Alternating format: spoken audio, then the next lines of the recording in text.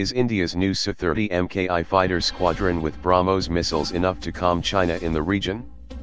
A new Sukhoi Su-30 MKI squadron, equipped with the Indo-Russian BrahMos missiles, vastly extends India's air power in the Indian Ocean. Can it help to counter the growing influence of the Chinese Navy? In a step toward enhancing jointness, Chief of the Defense Staff General Bipin Rawat inaugurated a new squadron at Thanjavur Air Force Station in India's southern state of Tamil Nadu.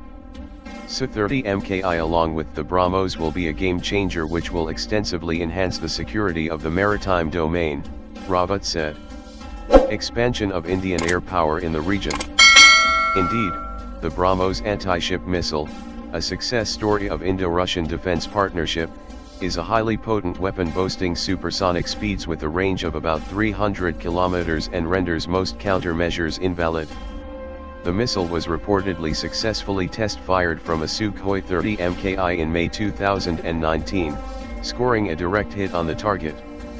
The Sukhoi, which have a range of around 1,200 kilometers, significantly increase India's capability to strike targets deep in the Indian Ocean and to virtually cover most shipping lanes in the region. The new number 222 squadron, named Tiger Sharks, will initially have around 5 to 6 fighter jets but gradually it will operate with a full strength of 18 aircraft. This is the first fighter squadron to be set up by the Indian Air Force in its southern command covering the Indian Peninsula. Retired Air Vice Marshal Manmohan Bahadur stated, the requirement of having a permanent footprint of Indian air power over the Indian Ocean was lacking.